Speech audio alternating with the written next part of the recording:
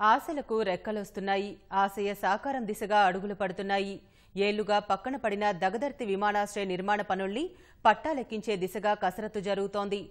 Airport సిద్ధమైతే తమ ప్రాంతం అన్ని విధాలా అభివృద్ధి చెందుతుందని ప్రజలు ఆశాభావంతో ఉన్నారు. నెల్లూరు జిల్లాలోని దగదర్తి మండలం దామవరం వద్ద విమానాశ్రయాన్ని నిర్మించాలని రెండు వేల ఆరులో నిర్ణయించారు. నాటి సీఎం వైఎస్ రాజశేఖర్ రెడ్డి శంకుస్థాపన చేస్తారని భావించినా వివిధ కారణాలతో అది నిలిచిపోయింది. రాష్ట్ర విభజన తర్వాత చంద్రబాబు నాయకత్వంలో మూడు వందల యాభై ఎనిమిది కోట్ల అంచనా వ్యయంతో విమానాశ్రయ నిర్మాణానికి శంకుస్థాపన చేశారు. పదకొండు నెలల్లోనే గ్రీన్ఫీల్డ్ విమానాశ్రయాన్ని పూర్తి చేయాలని ప్రణాళిక వేశారు. ఆ దిశగా టర్బో ఏవియేషన్ సంస్థతో ఒప్పందం కూడా కుదుర్చుకున్నారు. అయితే భూసేకరణలో అడ్డంకులు కోర్టు కేసులు పలు వివాదాలు ఈ నిర్మాణానికి ప్రతిబంధకంగా మారాయి. వైకాపా ప్రభుత్వం అధికారంలోకి వచ్చాక టర్బో ఏవియేషన్ సంస్థతో ఉన్న ఒప్పందాన్ని రద్దు చేసింది. కాంగ్రెస్ ప్రభుత్వం నుంచి మా గ్రామంలో విమానాశ్రయం ఏర్పాటు చేయాలని గవర్నమెంట్ ప్రపోజల్ పెట్టింది. ఆ ప్రపోజల్ ఇప్పటికీ వరుసగా మూడు గవర్నమెంట్లు మారిపోయినాయి. కాంగ్రెస్ గవర్నమెంట్ మారిపోయింది మళ్ళీ తెలుగుదేశం వచ్చింది. తెలుగుదేశం తర్వాత మళ్ళీ వైఎస్ఆర్సీపీ గవర్నమెంట్ వచ్చింది. ఇంతవరకు అదేమి మా తెలుగుదేశం ప్రభుత్వంలో చంద్రబాబు నాయుడు గారు శంకుస్థాపన చేశారు అది అట్లే నిలిచిపోయింది. ఆ ఏడు వందల ఎకరం మీద ఈ గ్రామంలో ఉండే కుటుంబాలన్నీ దాని మీద ఆధారపడి ఈ రోజు. కానీ ఈ రోజు మీరు కావాలంటున్నారు కాబట్టి కానీ మేము దానికి మీకు ఎదురు చెప్పట్లే? కానీ మేము కూడా ఇచ్చేదానికి సమూహంగా ఉన్నాం మాకు కూడా ఏంటంటే ఇక్కడ మా గ్రామంలో ఏదైనా కొంచెం అభివృద్ధి చెందితే నలుగురికి నాలుగు ఉద్యోగాలు ఏదో ఒకటి పనులు చేసుకునేదానికి వీలుగా ఉంటాయని అనుకున్నాం మేము కూడా.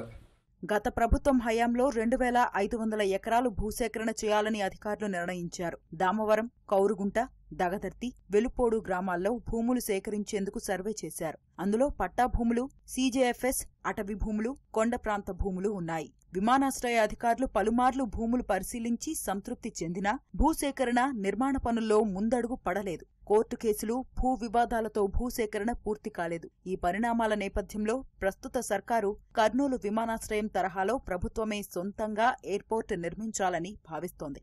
ఈరోజు గవర్నమెంట్ మాకు ఎయిర్పోర్ట్ పెడతానంటుంది ఊరు కూడా మాకు డెవలప్ అవుతుంది మాకు సంతోషంగా ఉంది. కాబట్టి మాకు నష్టపరిహారం మాకు పరిహారం కట్టకపోతే మాకు జీవనాధారం. ఆ ఏడు వందల ఎకరంలోనే మేము బతుకుతున్నాము ఎక్కడ పొలాలు లేవు.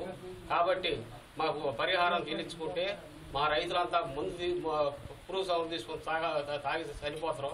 కాబట్టి దయచేసి కలెక్టర్ వారు కానీ ఎమ్మెల్యే కానీ మండల నాయకులు కానీ అందరూ సహకరించి మా రైతులకు న్యాయం చేయాలని కోరుతున్నాం గత ప్రభుత్వం ఏదో మేము పరిహారం ఇస్తాం ఇస్తాం ఇస్తాం అని ముగించుకున్నారు.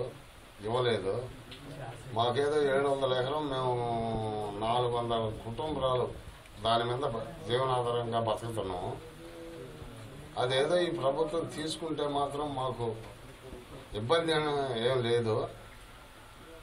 కానీ మాకు పరిహారం చెల్లించి తీసుకోండి. లేకపోతే మేమందరం సన్న చిన్నగారు రైతులని పరిహారం పక్కాగా చెల్లించి భూసేకరణ జరపాలని విమానాశ్రయ నిర్మాణాన్ని పూర్తి చేస్తే జిల్లా అన్ని విధాలా అభివృద్ధి చెందుతుందని స్థానికులు చెబుతున్నారు. విమానాశ్రయం నిర్మాణానికి అవసరమయ్యే భూముల సేకరణ ప్రక్రియ వేగవంతం చేస్తామని దగదర్తి తహసీల్దార్ వరకుమార్ అన్నారు. న్యాయస్థానంలో ఉన్న భూములకు సంబంధించి తీర్పు వెలువడిన వెంటనే నిర్ణయం తీసుకుంటామన్నారు.